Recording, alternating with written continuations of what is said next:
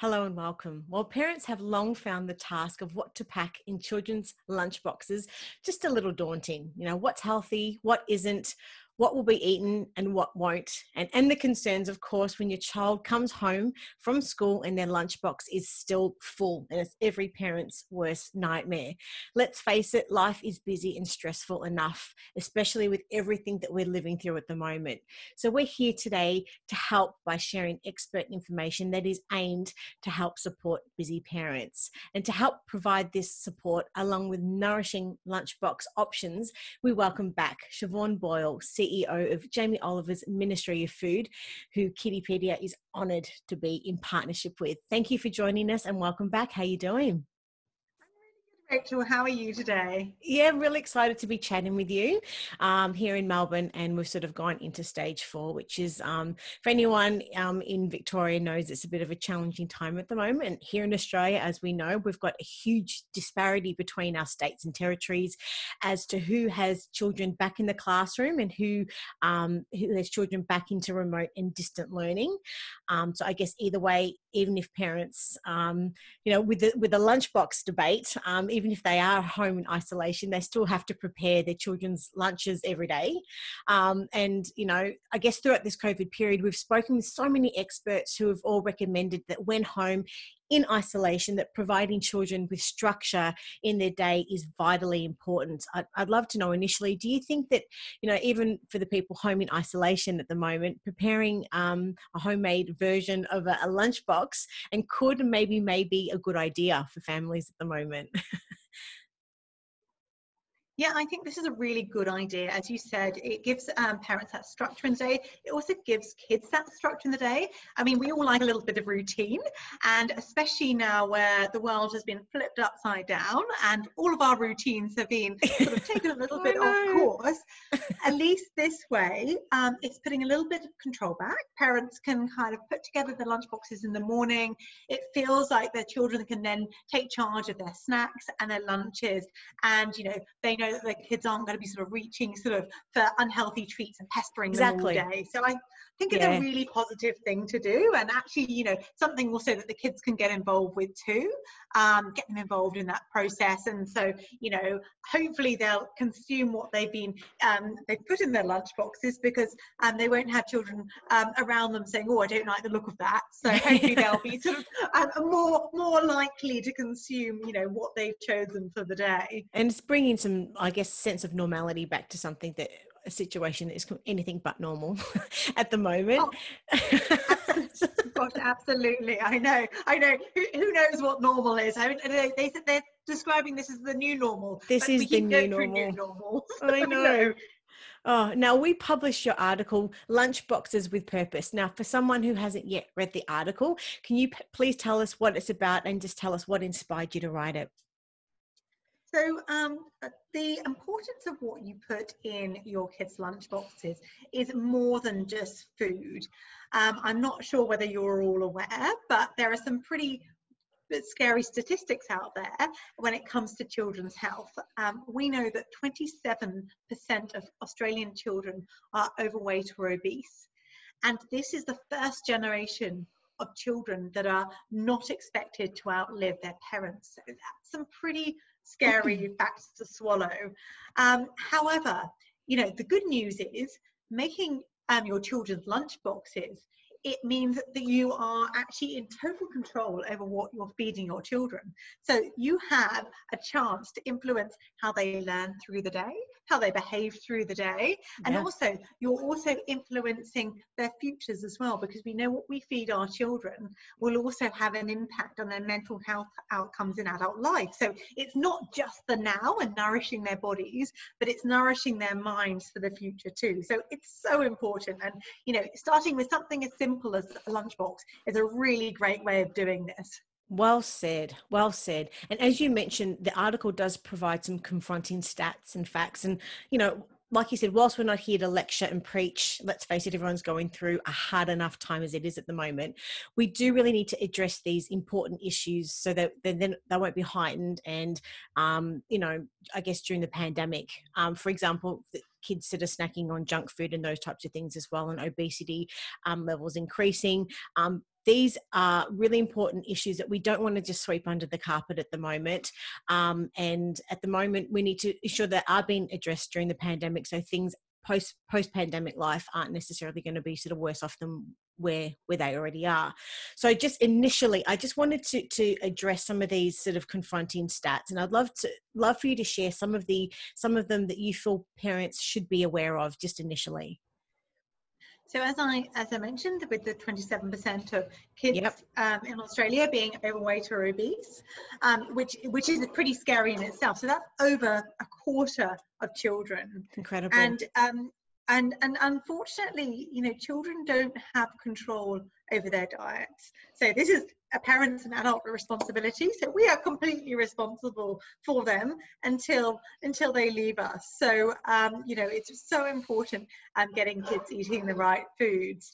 Um, we know that 84.8% of children aged 12 to 17 fail to consume four serves of vegetables per day. So, which is quite scary as well. So, it's not just the, the obesity and being overweight that's an issue, we know that kids aren't consuming the recommended daily amounts of fruit and vegetables too. So it's, you know, it's also that the um, the effects of being overweight isn't just the negative effects on the body; it's the effect, negative effects they can have with other children as well. So, um, you know, children who are overweight are more likely to be bullied too. So, um, you know, no one wants their child to go through that. So, you know, it's not just the mental health; it's not just the effects on their bodies. It's that sort of holistic um, approach to um, at school as well. Um, that kids can be quite cruel. You know, we want to enable our children to have the best possible outcomes. And so, you know, by making sure we're feeding them the right foods, putting the right ingredients in their lunch boxes, and, you know, keeping them um, aware of what they're eating as well, um, we're going to hopefully sort of um, give them the best possible chances within school and then for their futures too. Absolutely. And we've got all of that, that, information in the article, which will have the link in the show notes. But um, the next point is it's not all bad news. Um, you know, what are some of the good news that you can maybe share with us? Well, the good news is that diet related disease is are both reversible and preventable. And we Absolutely. know that kids who learn to cook have better diets and are more aware of the importance of making healthier choices. So getting kids in the kitchen too. So as I mentioned at the beginning, getting kids to help you putting together their lunch boxes. That will sort of um, enable them to make better choices and they're more aware of you know why they're doing that. And so if that's instilled from a young age they become those those good habits become the norm. So that's a really important thing to do. But that's another thing a piece of good news because as i said we, we, we can reverse this scary trend and we know that we get the kids involved in the kitchen they're, they're more likely to make those choices. Yes. And um, we know as well that kids who are eating healthier lunches are performing better at school. They're less likely to take days off. They're more motivated. They have better behavior. And we know that um, they are going to have an increased enthusiasm towards learning. So these are all really positive outcomes of uh, transforming your children's lunchboxes. Um, we also know that if you get kids involved right at the beginning of a food cycle and get them growing food too, they're actually much more likely to eat those ingredients too. So there's lots of real positives to come out of this. It's not all doom and gloom.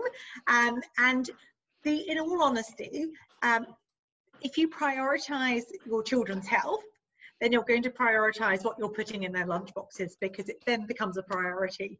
Yes. So um, it's and and you know we can all make that time and some small positive changes. We're not um, saying you need to totally reinvent the wheel, but yes. you know, some really small positive changes, making sure you're always including fruits and vegetables, whole grains, give them water to drink instead of um, sugary milk drinks or or you know poppers or those um, other sort of fruit juice drinks um, you can really sort of make some positive shifts and i think you'll notice those changes in your children Mm-hmm. And as you said, eating habits are set in the first few years of life, and when we encourage good, healthy food, um, you know, habits, um, children will take those habits into their adult life. I'd love to know um, also, you know, what are your top ingredients um, and ingredient suggestions for boosting um, mental health? Because you've, you've mentioned that a couple of times, um, which is vitally important. Um, that the, the quality of the food is going to affect their learning and their mental health. So, is there anything in particular that you think, from an ingredient perspective, um, what suggestions do you have for boosting mental health then? So, um, we know that fruit, vegetables, and whole grains mm-hmm. um, improve anxiety in children and, and, adults too. So this doesn't need to be um, just the rules for kids. Um, for boosting their mood, cottage cheese and air pop popcorn. So who doesn't love popcorn? And popcorn is a great little snack. You can do that at home. Easy to do. I can I eat popcorn winner. every day, and be fine. Yep. totally. But that's good for boosting your mood. We know that um, tuna so like making a nice tuna sushi roll or something, or even, you know, if you want to buy a sort of brown rice tuna sushi roll, that's great for concentration. So that's a total win too. Um, if you're feeling irritable or unsettled, um, celery is really calming. So nice crunchy celery sticks, very calming for you. And bananas and walnuts are very good for depression. Now, walnuts may be a little controversial because of the nuts and school issue, but bananas. Bananas are great for lunchboxes because you don't need to wrap them. So good for the whole nude food, naked food movement too. And, um, you know, and bananas are great energy boosters and they're a boost for depression. So total win all round. So some really good ingredients there. Anxieties, fruit, vegetables, whole grains, mood boosters can be the cottage cheese and air popped popcorn. Concentration is um, the omega 3s with tuna. Um, and when they're feeling unsettled is quinoa and celery, as you just mentioned. And depression is um, walnuts. And if, they, if they've got nut allergy, of course, you've just got bananas as, as well for, for depression uh, and or just sort of mood enhancing overall. Um, in saying that, I mean, what, what are your top sort of lunchbox tips you'd like to be able to share with us today? So, um, as I just mentioned as well, um, when you are sort of packing a lunchbox, um, yep. always offer water. So it's the most um, healthiest and most thirst quenching option available. So always put water into your lunch boxes, um, especially in a climate. I know we're in winter at the moment, but winter will soon be over. And so, you know, making sure that your little people are well hydrated is, is a really key thing.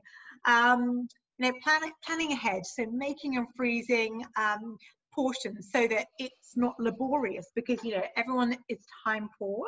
And so making ahead frittatas savory muffins zucchini slices they're great to sort of make and freeze in little portions ready to pull out to pop into the lunch boxes. Um, a great way of sort of, making including those whole grains, which as I said before is really good for anxiety. Yeah. Um, yeah. Is doing just switching to um, you know wholemeal bread instead, or if you're making a wrap, using a wholemeal wrap. So it's those small little changes which can really sort of make all of that difference. Yes. Um, yeah. Great advice. And then and then you know making sure that snacks that you're packing are good healthy snacks too so um, it's not you don't need to sort of be reinventing and creating sort of healthy versions of processed food. Um, you know, having lovely crudités and cherry tomatoes, cubes of really delicious cheese, um, some frozen yogurt, even some plain baked pretzels are really good options. And fruits like strawberries are, are, are great for snacking on too. So it's kind of um, making sure that, you know, they've got a, a really interesting variety of food. Um, they've got a rainbow of food, uh, of ingredients in their lunchbox because you eat with your eyes don't you? You don't want yes. your lunchbox to look sad. And and you know we're very lucky now. We didn't have these when we were kids um, but they have all these amazing bento boxes. I was going to ask now. you what your thoughts are on bento boxes. Oh, yes. oh, they're incredible um, and they're yeah. so good. And um, we actually sort of and you know we work with a company called stuck on you and we actually do um, and, and which is fantastic. And they they produce these wonderful boxes, um, which are so kid friendly. And you know they've got all the little sections that you can put your fruits and your protein and and everything in. And so you know they're pre-designed. It means that things don't get mushed together. And um, you know they pop them in their little bags with a cool box, and um, it keeps everything really lovely and fresh um, until they're ready to eat. So I think they're brilliant. So I mean, kids today are really lucky. They've got all of these things in their favour, and you know. Oh, to be a kid again. Yeah, exactly. Oh God, I know. if only. I wanted to ask your opinion. You know, what should parents do if their children really dictate what they want in their lunch boxes, and especially if they're unhealthy options? As an example, do you have any any advice for a parent that maybe, for example, is being sort of you know like for example they are providing some healthy options and the kids aren't necessarily liking and or wanting them so the child is maybe dictating a little bit what i want and i know i will eat this type of thing any I don't um, know.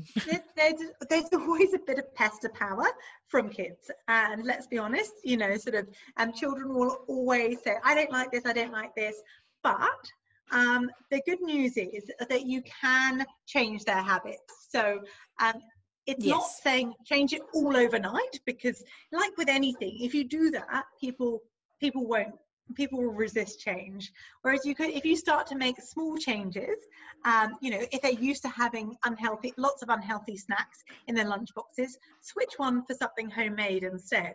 And so, you know, you're giving them those options, and then that becomes the norm. And then, you know, there's nothing wrong with putting a delicious home baked treat in there. Anything home baked is always going to be better than shop bought because you've got total control over the ingredients you're using. So it's not saying you can't have treaty ingredients in there, like a home baked slice. The balance. yeah, but it's yeah. just if you've made it yourself, then at least you you know what's gone into it so um and yeah. it is sort of switching switching those things going actually i'm going to this week i'm going to bake this and that's going to be their treat of the well week. that's what i wanted and to so, ask you about variety you know it does make food interesting and making um i guess kids with sandwiches as an example eating the same sandwich every day but maybe just changing the snack food may end up that kids sort of love their snacks and thinking that the sandwich is a chore so i wanted to know from your perspective how often should parents shake up the traditional menu offering with new selections. I mean, do you think that they should just stick to the tried and true options that they know the kids are going to eat and they're going to come home and their lunchbox is going to be sort of empty and or offer the same types of things every day? Just as a general question like what do you think? I think um, it's good to mix it up um, you'll know the ingredients that your kids will like, but also it's good to kind of, you know, display things in different ways because you do eat with your eyes. So, um, you know, and I guess as a parent, it's a bit boring if you're always making the same thing, if you're always making the same sandwiches every day. As well for the parent, of course, yeah. Oh, yeah. So um, I think having that variety is good and, you know, mixing it up because we all like to eat variety in our diets and you know sometimes um, the, the, their taste buds develop. So something they may not have liked so much and they then the as palate you know, changes. like, exactly. And so a year later they'll be like oh that's wonderful. So i think sort of giving giving a bit of variety but also you don't want to become disheartened as a parent to to to be putting stuff in your children's lunch boxes and and then to keep coming home full because you know that's going to be quite demoralizing and also people don't want to waste money by seeing food going to waste as well. So well. It, there is that fine balance of you know what what's going to work for your family, but you know keeping in mind fresh is best. If your homemade is best, and eating that rainbow, so making sure there's always a beautiful array of colours of fruits and vegetables in there. So, so I mean, in saying that, so what foods should a parent always aim to include in their child's lunch boxes then? So in, in terms of what should be in a lunchbox, um, I would always ha- include um, fruits, make sure there's fruits and vegetables. Yep. There's whole grains, there's dairy, and yep. some form of protein, nice healthy protein in there, um, whether that's in the form of um, tuna or some chicken in yep. your sandwich, and then a healthy snack as well. So, you know, and those are kind of some good guidelines. So if you can tick all of those off your list, you're kind of like, you, you, you, you're, you're off to a good start. Yeah, well, exactly. Talk, talking about the snacks, in, I mean, su- supermarket shelves are filled with lots of packets of easy lunchbox treats, and they sort of masquerade, I guess, healthy food in, in a lot of instances. The problem is most are loaded with sugar, salt, fat, and often sort of offer very little nutritional value. Um, I'd love to know from your perspective, do you think all packaged snacks are actually bad uh, for children as a general term? Question. No, not all. Pa- no, not all packaged snacks are bad. My advice would be to always read the label. Um, yes. Um, labels, food labels can't lie. So um, always look at the list of ingredients on the back of a packet first. Yeah. And um, uh, and if it's full of a list of things that you probably don't recognize, or it's a list as long as your arm, you probably don't want to be giving that right. to your kids. Yeah. Yeah. Um, of course. The health star they do have the health star rating on the front of snacks nowadays. And um, you know that can be a little confusing as well. I mean it's it's a system that was designed you know to, to make this whole process easier because we all know that sometimes we need to sort of reach for something that is convenient. And of course you want to be making the, the those best possible options and selections when you're doing that. Um, so you know but at that the thing with a health star rating is you're comparing like for like. So if, for example, you picked up a muesli bar, now muesli bar is one of those things which everyone I think of as healthy. Yes, it's full of sugar. They're laden with sugar. Yeah. And actually, no, you're better off making something homemade and delicious than popping a muesli bar into into your lunch boxes. Um, but you know, if you did want to go down that route, um, you would compare like for like, and it would and it compares, you know, in, in you know the levels of sugar and salt and ingredients, and so it has a different star rating, so you can compare in category uh-huh. um, for for a muesli bar. But I'm trying to sort of stick to sort of homemade options, sort of um, you know unsalted pretzels, unsalted um, popcorn, you know, ready. Yeah, and, and, so, you know, those sort of options are, are yeah. far better um, than um, actually kind of reaching for, you know, the, the packet snack options. And, you know, in, in saying that, I mean, especially for the kids that are back at school at the moment, back in the classroom, they're, they're, they're more interested in, in playtime, you know, obviously being with their friends and running and playing sport than eating. Um, so, I mean, grab and go stuff works well with, um, with kids that, um, that like to get out and play and be active so I just wanted to know, just quickly, too, what are your top selection for um, easy to prepare, like portable snacks? Anything in particular? You've mentioned some um, sort of sushi hand rolls um, with something like a hard boiled egg or cheese sticks um, or something oh, like that, or you know, absolutely. in the squeezy yogurts and those types of things as well. Yeah, if you yeah, like if you're going for a plain um, plain yogurt that's a great, you know, because you can get those squeezy yogurts, which are good. And if you go for a plain one, which isn't sweetened, that's even better. Um, and then, you know, little those little bocconcini balls are great. Um, crudité, um, so just chopped up veggies, you know, in, in thick form, that's always good. And yeah, as you as you mentioned, cube cheese are really good. Um, baked pretzels, hard-boiled eggs. You've got, um, you know, if you are allowed nuts, nuts with cranberry. Sometimes you get those little trail mixes. They're they're really good too. So it's um, depending on what you're allowed to sort of give your children in the yes. school um, setting. Um, and yeah, and brown rice sushi. That's that's always a great option too. So there are lots of options out there. So you're not limited um, just because you're not reaching for a packet food. For, as well. And you mentioned earlier before also about homemade um, treats as well and it's okay to have this sort of food this food sometimes as well. And i've read um, you know in, in a lot of different sort of forums and whatnot that allocating a bake day once a month is, is a great great thing to do um, and to freeze some of those healthy lunchbox um, treats as well. Um, and it's also good for the family budget um, in a lot of instances now too because families um, having to sort of to be more cautious um, sort of about these things. I'd love to know from your perspective what sort of savory things are, are good that um, I guess that a family could then pop into the freezer if they're going to sort of go ahead with that sort of baking sort of day once a month? Well, I mean, the frittatas, and I, uh, they're great to make in little muffin tins. Yes. Um, so yes. that's super easy. Um, you know, it's like the cheap peach, isn't it? And you can put them in little baking paper, so they're nice and portable, yep. and they freeze brilliantly. So, um, you know, make it. And Savory that's slices. a great way of sneaking veggies in. Um, savory slices like a zucchini slice perfect. And um, yep. even like little savory muffins are really good too. So uh, we've got a gorgeous um, spinach and feta recipe um, for muffins and they are super super delicious.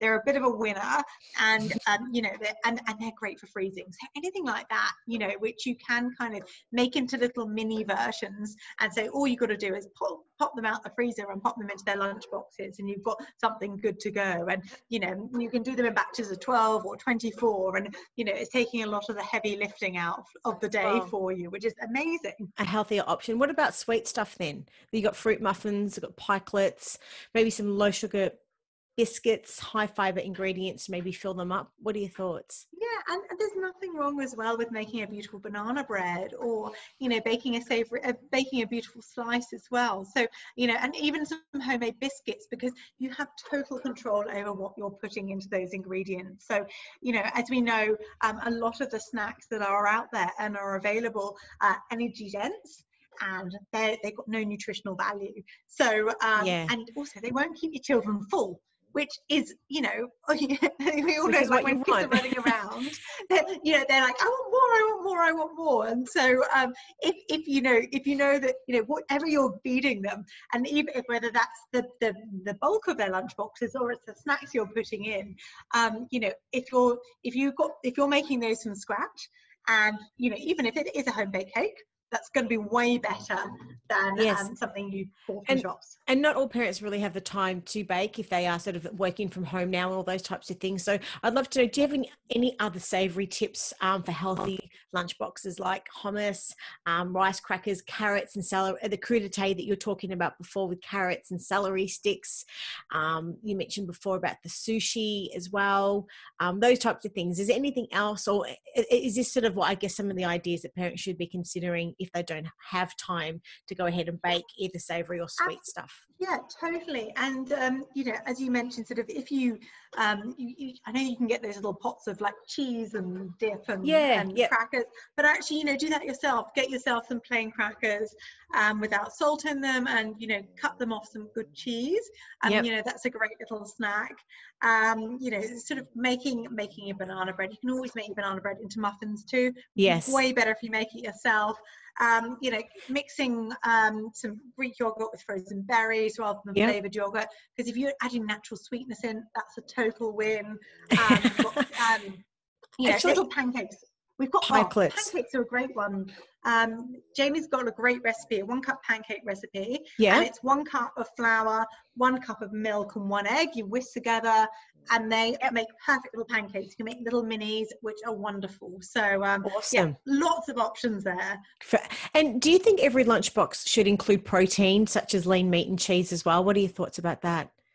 Absolutely, you need that in there, and that's an essential element to all lunch boxes, um, and it should be included because that's going to sort of help fuel their brains um, as well as their bodies too. Especially, you know, as we know, little bodies are very active, so you know, really important to getting that protein element in there too. And the only other thing I just wanted to um, follow on with, I mean, afternoon snacks. If kids haven't eaten their lunch, they're going to come home famished and eat several packets of snack foods and junk food. And then, of course, they're going to struggle to finish their dinner, which is every parent's nightmare yeah. as well. So I just wanted to know about your favorite afternoon snack picks. So, um, for example, you know, if if there was maybe um, some fruit in their um, lunchbox that they didn't eat, maybe making that into a smoothie. Um, but things like crackers with tomato and cheese can help as well. Um, but I'd love to know, like, what are your afternoon snack um, sort of tips and advice for parents, like pre dinner? I mean, yeah, a smoothie is always a good option because that's a great way of kind of getting your um, getting getting your fruit in there. Um, yep. But you know, making beautiful fruit platters, you know, make it exciting, you know, um, and and get the kids involved in that too. So if you make a fruit or vegetable platter, and um, they're going to eat with their eyes, and they're going to think that you know it's it, it's something that they want they want to eat. So um, if it, it looks appealing and it's not all squished and it's presented beautifully, um, then you're much more likely to get them to eat it as well like with fruit skewers as well you know threading it's amazing what putting the food on a stick does um, suddenly it becomes it takes it to a different dimension and kids love it so yeah. if the, if the cupboards like, wow, bare as well strawberries and grapes onto a stick yeah Yes. If the cupboards are bare at the moment too, maybe even just a bowl of high fiber cereal may even just do the trick as well. Because um, getting to the super, supermarket can be a little bit of a chore down here in Melbourne at the moment. Now, yeah, of course. Now, really quickly, just tell us a little bit more about the, the Good Foundation um, and I guess the online programs with cooking lessons. Um, I guess that that parents can be accessing sort of um, home whilst in isolation. Yeah, and you know, it's it's so wonderful to have been able to come on to talk to you today um, about healthy lunch boxes. And you know, sort of one of the things we do know is that you know, um, as a foundation, that you know, it's not just telling people what they should be doing; it's equipping them with those skills so they can, are enabled to make those better choices for their families. So we have two wonderful programs that we proudly deliver in Australia. Yep. We have Jamie Oliver's Learn Your Fruit and Veg program, which yep. is for the kids from three to twelve, and then we have Jamie's Ministry of Food, which we deliver, which um, from 12 to 90 plus. Yep. And this is where we teach back to basic cooking skills and yep. we instill positive eating habits in a fun and engaging way so we can transform Australian communities. Yep. So we know the importance of upskilling rather than just telling people what to do because we know telling people what to do doesn't always work and you know people um, often know what to do they just need to know how to do it and you know they want to have the confidence in the kitchen and that's what we do with our wonderful cooking programs so um, in saying that we'll have all of the links um, through to um, to I guess to all the different parts of uh, your website where people can contact you and everything else. Um, otherwise, besides that, is anything else, any other key messages that you'd like to share with anyone watching and listening today?